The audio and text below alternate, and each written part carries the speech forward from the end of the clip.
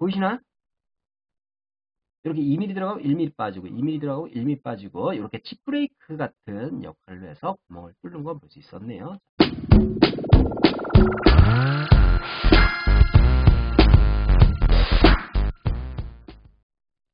안녕하세요 여러분 더테크의 머신맨입니다. 자, 지금 작업창에 보이는 이 모델은 항공기 엔진처럼 생겼죠. 자, 이걸 우리가 이제 선반 작업하기 위해서 선반 도면을 축출해야 되잖아요. 그죠? 그래서 선반 도면 축출하는 방법에 대해서 한번 알아보도록 할게요. 자, 일단 우리가 선반 축출을 하, 도면 축출하기 위해서는 이 평면, 이 평면을 우리가 원하는 위치에 절단하고자 하는 원하는 위치에 갖다 놔야 되겠죠. 그래서 저는 XY 기본 평면에 일단 두도록 하겠습니다. 자, 닫기 하면 되고요. 스페이스바 두 번 더블 클릭하셔서 어, 이렇게 보시면 이렇게 선반 작업 평면이 만들어지겠죠. 이렇게. 자, 그 다음에 우리가 해야 될 작업은 좌측 하단에 보면 모델 잘라보기 및 절단부 추출이라는 아이콘이 있죠. 얘를 클릭해 주세요. 그러면 모델 단면 보기라는 게 어, 창이 하나 뜨고요. 이걸 이렇게 움직여 가지고 단면 될 양을 그죠? 볼 수 있죠. 우리는 정확하게 하기 위해서 여기다가 제로 넣게 되면 정확하게 제로 위치에 단면이 만들어지고 보여지는 걸 볼 수 있죠. 우리가 이 부분을 절단부 축출이라는 걸 눌러서 절단부 축출을 할 거예요. 벌써 한 거죠? 자, 더 이상 필요 없으니까 닫아주시고요. 우리가 현재 모델도 현재 필요 없으니까 선택하고 감춰주시고요. 자, 스페이스바 눌러서 도면 보기 창으로 딱 띄워보면 이러한 단면된 걸 볼 수 있죠. 자, 우리가 이제 선반 작업을 하기 위해서 요 이제 구멍, 구멍들은 필요 없으니까요. 구멍을 다 이렇게 선택, 선택 해보도록 할게요. 이 부분도 필요 없으니까 선택, 다음에 선택, 이렇게 선택해 주세요. 그리고 여기도 필요 없으니까 하나만 남겨두고 이렇게 제거해 주시면 어, 나중에 편집, 수정할 때 좀 편리할 것 같아요. 다 필요 없는 것 같아요. 이렇게 선택됐다면 삭제 이렇게 해주시고요. 자, 그럼 이제 다듬어 보도록 할게요. 자, 다듬을 때 여기도 필요 없을 것 같아요. 자, 됐고요. 다듬어 보도록 하겠습니다. 우리가 이제 홈에 가서 다듬고 끊기에 가면 두 개 다듬기라는 거 있죠. 이걸 가지고 이 선과 이 선을 선택해주면 자동으로 이렇게 연결해 주겠죠.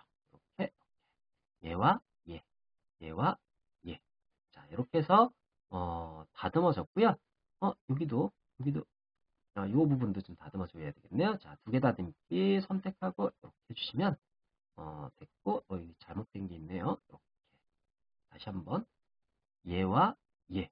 어, 불렀을 때 얘와 얘 다듬어지질 않아요.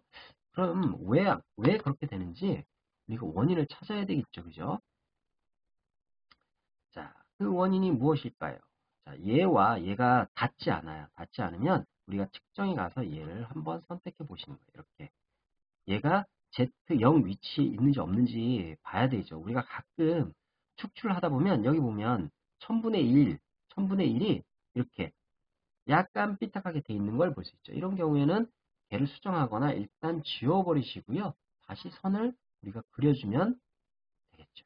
이렇게 해가지고 이렇게 정리가 된 거죠. 그럼 다시 한번 확인해 보면 얘와 얘 정확하게 0 위치에 있는 걸 볼 수 있네요. 자 이렇게 해서 선반 작업을 위한 도면이 생성이 되었고요. 우리가 이제 이거 내부를 뚫기 위해서 드릴 작업이 하나 필요한데 이때 어, 여기서부터 여기까지 드릴 작업을 위한 선이 하나 필요해요. 그래서 색상, 선의 색상을 제가 파랑색으로 하러 선의 두께는 가는 걸로 해서 선을 하나 만들어 보도록 할게요. 자, 여기 선택을 하시고 정확하게 이 위치에서 이렇게 찍으면 여기 드릴 위치를 뚫을 거고요. 다음에 우리가 여기서부터 다음에 여기까지 단면을 하기 위해서 이렇게 두 개의 선을 하나 만들어 놨어요. 자, 그럼 우리가 이제 선반 작업을 해야 되니까 우리가 첫 번째 어떤 작업부터 해야 될까요? 자, 일단 제품을 척에다가 물렸을 거 아니에요. 그죠? 그럼 우리가 첫 번째 해야 될 거는 어, 그릴, 구멍을 먼저 뚫어보도록 하겠습니다.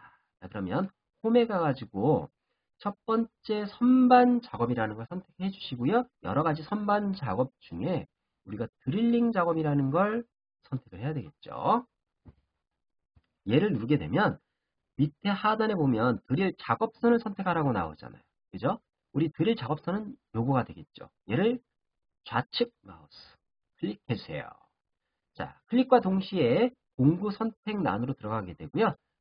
가장 적당한 공구를 공구 목록에 가서 드릴 에서 선택해 주면 되겠죠. 내가 갖고 있는 공구 중에 가장 직경이 큰 거 중에 뭐 58짜리가 하나가 있네요. 제가 이전에 사용했던 공구였던 것 같아요. 58짜리를 선택해 주시면 들어가겠죠. 그죠? 여기 보면 공구에 대한 정보가 나오죠. 드릴 58 넓이가 그죠? 포함각이 118도라고 나와 있어요. 그죠? 자, 그럼 공구 번호는 얘가 만약 10번에 들어있으면 10번이라고 입력해 주시면 되고요. 필요에 따라서 이송 속도를 내가 뭐 한, 음, 분당으로 해볼까요? 분당으로 뭐 예를 들어 50 정도만 해가지고 분당으로 제가 바꿨어요. 어, 회전 속도는 어, 예를 들어 뭐 한 500 RPM 정도로 해가지고 이동하도록 해볼게요. 자, 다음 누르시고요. 이것도 특별하게 설정할 건 없 으니까 다음 눌러주시고 우리가 드릴 종류에서 뭐 깊은 구멍 또는 짧은 구멍, 짧은 구멍, 깊은 구멍 선택하면 되겠죠. 또는 사이클. 저는 음, 짧은 구멍 으로 정의해서 한번 뚫어보도록 할게요. 근데 우리가 이전에 가공 깊이가 170이란 말이에요. 그죠?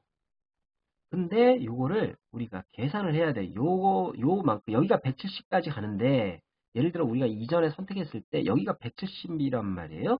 여기까지 딱 오면 여기가 덜 뚫려지는 부분이 생기겠죠. 우리, 우리가 이걸 계산해야 되는데 이렇게 계산기를 딱 누른 다음에 드릴 직경 있죠. 아까 우리 드릴 직경이 58이었잖아요. 각도는 118도고 그럼 선단부 길이가 17.44 얼마라는 걸 알 수가 있어요. 대충 그냥 18이라고 가정을 하고요. 그러면 다음 눌러서 다음 누르고 우리가 가공 깊이 있죠. 여기다가 마이너스 18을 더 넣고 는을 눌러주면 자동으로 계산되죠. 이런 식으로 가공 깊이를 정의할 수가 있더라. 그죠? 자, 급이송거리는 우리가 이제 한 5mm, 한 10mm에서부터 잡아주고요. 어, 증분 다단 2mm씩 뒤로 후퇴는 1mm 해가지고 들어가는 걸로 이렇게 쭉 한번 만들어 보도록 할게요. 이렇게 해서 마침 하게 되면 드릴 작업이 완성이 된 거예요. 자, 여기 선반 드릴 작업이 만들어진 걸 볼 수 있죠. 얘 더블 클릭해가지고 시뮬레이션 일단 확인해 보도록 할게요. 자, 더블 클릭. 하신 다음에 저는 시뮬레이션 잔삭으로 들어가서 2D 시뮬레이션을 할 거예요. 이때 공구 직경이 저는 한 210 가공 깊이, 그러니까 끝단, 끝단이 어, 이렇게 170으로 해서 앞으로 1mm 나온 걸로 해서 확인 눌러보도록 할게요. 오 여기서 충돌 충돌이 일단 생겼어요. 왜냐면 1mm를 빼놨기 때문에 그런 것 같아요. 일단 무시하시고 시작하시게 되면 쭉 들어가는 걸 볼 수 있겠죠. 자, 우리가 천천히 보면 천천히 다시 한번 볼까요? 들어가서 일단 충돌되고요. 봐봐요. 그죠? 보이시나요? 이렇게 2mm 들어가고 1mm 빠지고 2mm 들어가고 1mm 빠지고 이렇게 칩브레이크 같은 역할로 해서 구멍을 뚫는 걸 볼 수 있었네요. 자, 빨리. 자, 일단 우리가 여기 충돌되는 걸 막기 위해서 그죠? 뭘 해야 돼요? 다시 선반 드릴링 작업에 들어가서 음, 편집 들어가야죠. 그 다음에 다음, 다음 여기서 우리가 무언가를 정해줘야 되는 게 있을까요? 어, 있겠죠. 요거 시작 위치, 절삭 위치, 시작 위치를 우리가 플러스 1로 줘야 된다 이거죠. 그래야 그죠? 1mm 플러스 1mm부터 작업 들어가는 거 아니에요. 그죠? 얼마만큼 안전 진입거리, 우리가 안전 진입거리도 1mm 이렇게 줘, 줘보도록 할게요. 이렇게 하게 되면 2mm 플러스 Z 플러스 2mm 전부터 진입해서 들어가는 걸 볼 수 있죠. 이렇게 보고 한글로 되어 있는 걸 보고 이렇게 정리해서 하시게 되면 될 것 같아요. 자, 다시 한번 드릴링. 자, 시뮬레이션, 2D 시뮬레이션. 자, 이번에는 충돌 없이 그냥 바로 들어가는 거 천천히 해보도록 할게요. 자, 시작! 자, 이렇게 해서 시뮬레이션에서 완전히 충돌 없는 걸 확인한 다음에 문제가 있다면 편집하시고요. 없으면 데이터 뽑아서 넘겨주시면 되겠죠. 자, 그러면 데이터를 한번 뽑아보도록 할게요. 자, 더블 클릭 해가지고 데이터를 우리가 NC 코드 저장 해가지고 뽑아봤어요. 이렇게 뽑아보니까 어, 어떻게 나와요?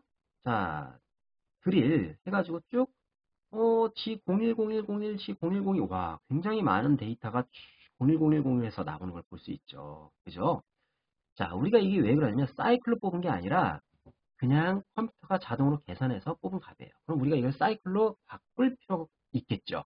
자, 다시 선반 드릴링 더블 클릭해서 편집 들어가 주세요. 그 다음에, 자, 다음, 다음. 우리가 여기서 깊은 짧은 구멍이죠. 사이클로 사용하겠다. 라고 정해 주시고, 요 값은 그대로 정의가 되고요. 자, 다음. 눌러서 짧은 구멍. 요거죠. G73번. 예로 해주고, 중분절임량은 2mm.